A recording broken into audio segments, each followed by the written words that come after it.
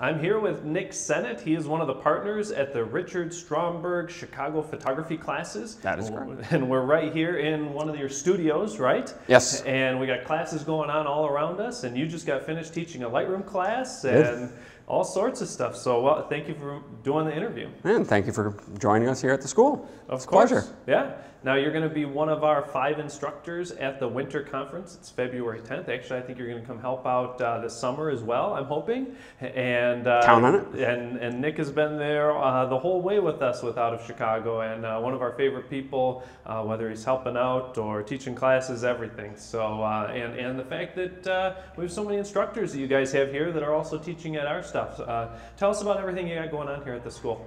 Oh, it has uh, the past three years since uh, Rick And I took over uh, the school. It's gone gangbusters here, and I got to say, I love this place. Uh, we've gone from about 40 students in the kind of the community that we've built to this current session that we have. We're upwards towards 198 to be exact. That's awesome. So, uh, and the only way we've gone from 40 to 198 is not from me, it's not from Rick Katz, it's from our instructors, it's from the community, and it's from the support of all of our volunteers.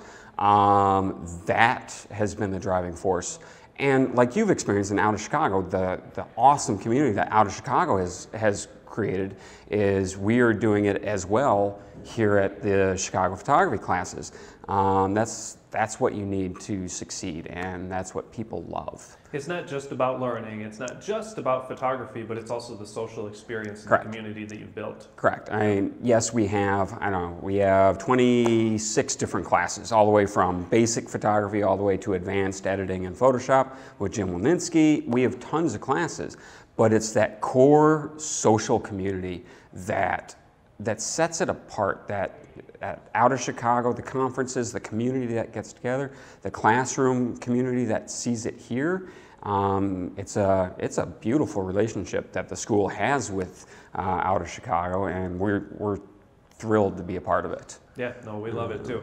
And, and the setup you got here is awesome. I mean, all, all the printers you have, all the computer labs you have, it's everything anyone would need from learning how to do the photography to editing it to printing it and having a final product here on the walls. Yeah, the, the one thing that we will always really strive on at the school is printing. Printing, printing, printing, printing. As you saw, there we have over 12 uh, Epson printers, whether they range from 24 inch wide all the way to 4900s.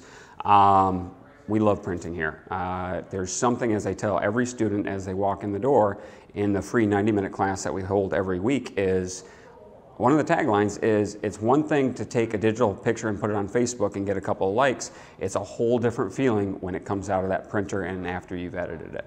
That's a, it's a, it's a work of art at that Something you can point. hold in your hand. Something you can hold, something tangible you can put up on the walls that we have. Um, that's where you get hooked.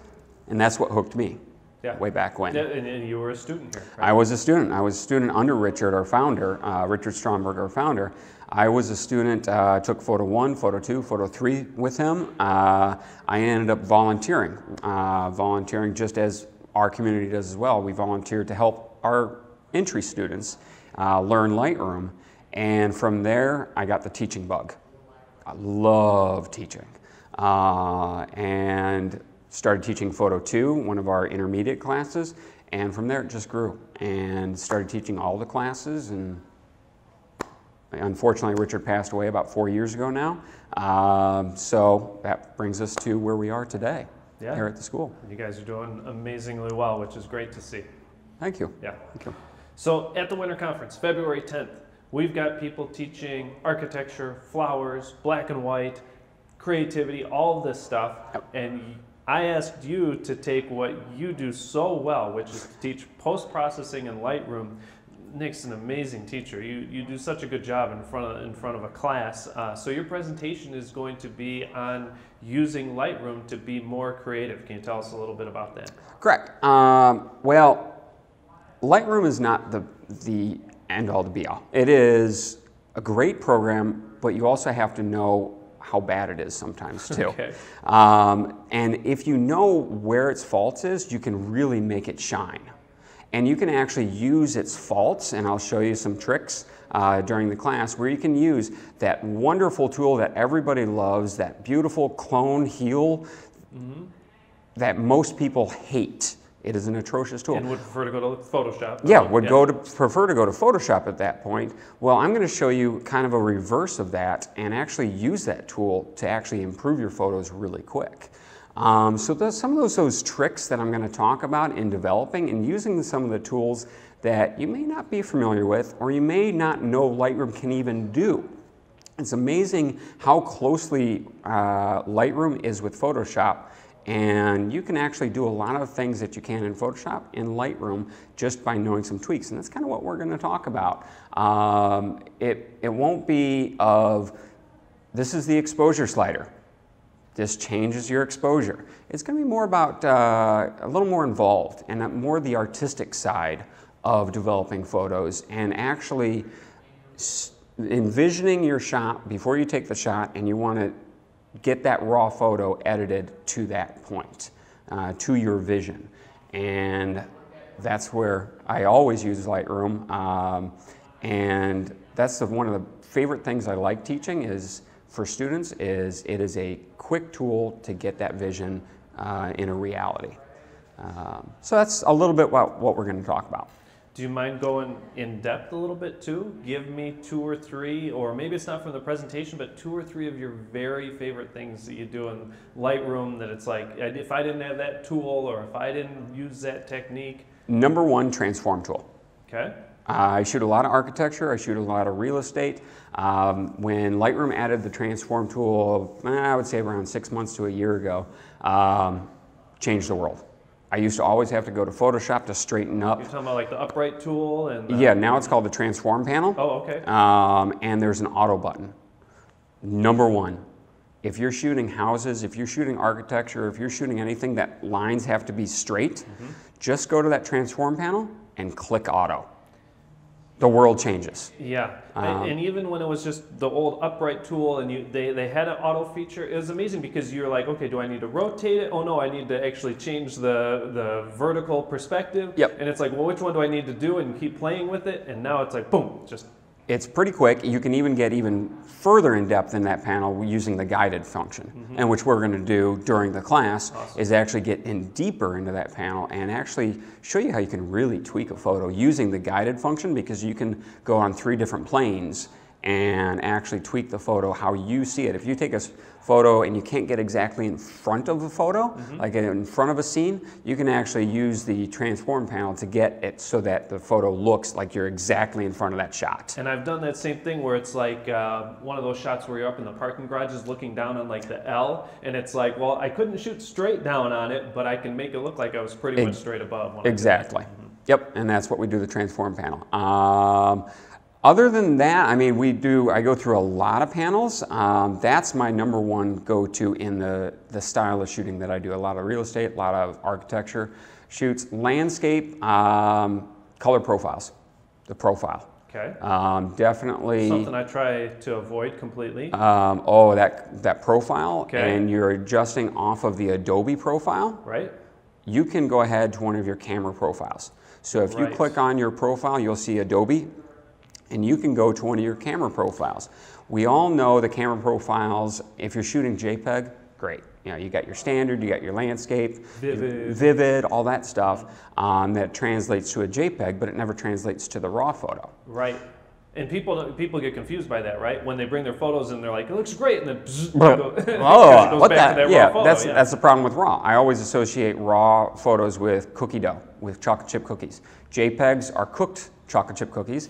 raw is raw cookie dough. I like it. So when you go ahead and try and when you import your raw photo, it's kind of like, ugh, that raw cookie dough doesn't look very yeah. appetizing.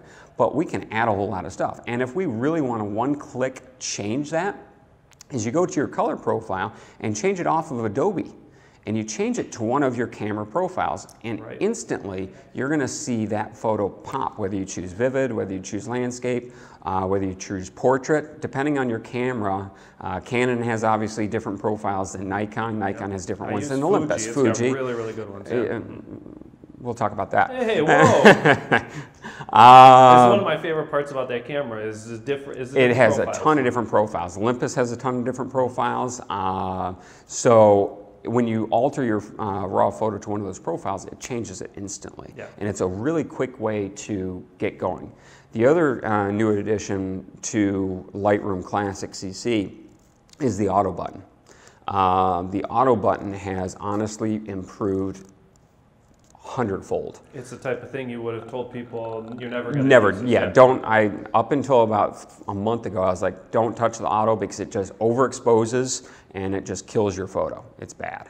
Now I say, you know what, this is a good, if you click auto, it's a pretty good starting point um, for people to start. It gets your photo to where you want to start on it.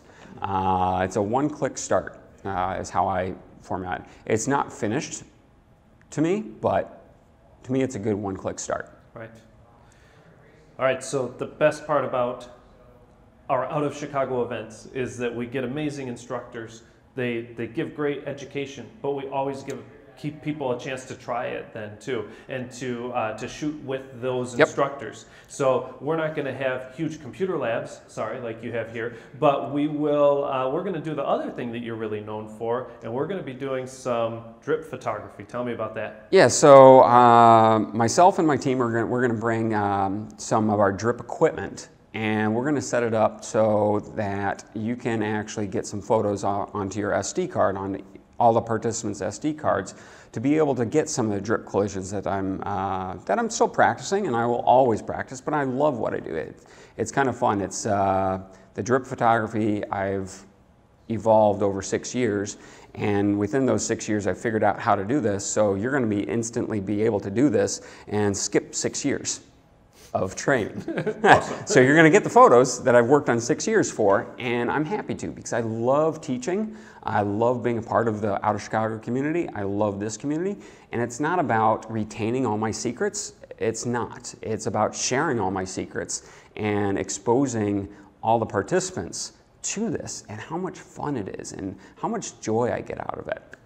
Um, that's what matters. And so we're going to share that, and you, all the participants are hopefully going to have an opportunity to stop by our little booth. Um, it's going to be staffed by not only myself, but a, couple of our other instructors that help me out all the time uh, at the school during drips, uh, drips and drops, and you're going to get to do it. And you're going to get to see it, and you're going to get to have choice.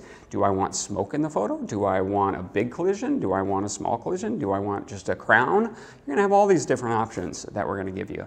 Um, so that's a little bit about the shootout Yeah. portion of this. Yeah, and these photos you make are phenomenal, and people are just going to have so much fun to, you know, get a chance to set it, set some of it up themselves, make their own choices, and be like, "Bam! I made that. That is so cool!" in a short amount of time.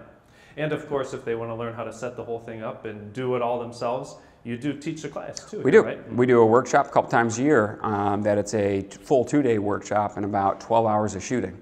And so it's all about going around and shooting all these different stages that I do. All, I do all types of liquid photography. I love liquid photography. I love the properties of liquid and freezing liquid and showing movement in liquid. Uh, that's that's kind of what gets gets me Last going. year we did splashes. We were throwing different objects into the water, and but this year it's drips. It's, It's actually drips. really close up macro. It's all macro. Yeah, Yep. uh-huh. It's all of macro. exactly what those drops look like when they're hitting the water and they're bouncing back up, and yeah, super excited. To do freezes that. and uh, you can choose different colors different elements whether it's milk whether it's water all makes different splashes and it's different properties different uh, viscosity of the liquids matters and so i'll share those secrets i have no problem so that you can go home and take 5000 photos and get that one shot because that's what it actually takes but on, on here at out of chicago we actually have it down to a science where every shot you're going to get that shot where you don't have to spend 5000 pictures to get one good picture Yeah. so it's we've with the help of a lot of my instructors we've got it down to a pretty good science I can't wait. so It's it's going to be awesome. All right, so February 10th, winter conference. yes Uh, if people are interested in finding out more about Chicago photography classes, where do they go? Uh, what, our website is www.chicagophotoclasses.com. Um, feel free to look us up. Uh, love to have you here. We hold a free class every Sunday, um, every Sunday at noon. It's a fun class. Uh, we hold everything from kids photography programs uh, all the way down to eight years old, uh, eight to 12 year old programs. uh, all the way to high school programs, uh, all the way up through advanced editing, uh, through as advanced as Jim Walensky and other uh, great editors uh, push you through. And you're here in the Ravenswood community. Yes, we are at 4001 Ravens, North Ravenswood, and we're right on the corner of Irving Park and Ravenswood. Uh, and we encompass almost the entire first floor of the building now. Yeah. We're, we're growing. and we're growing. you've down into the basement. And we're, we're in the basement also, and one of, we have uh, two digital labs encompassing uh, 30 computers and over 12 printers. Uh, so yeah, we, we like printing, we like Lightroom, we like Photoshop, and we like photography. But more so, we love our community. I was gonna say, yeah, the people love the instructors here, so Yeah, we just, I can't say enough about our students and our instructors. I totally agree. Good.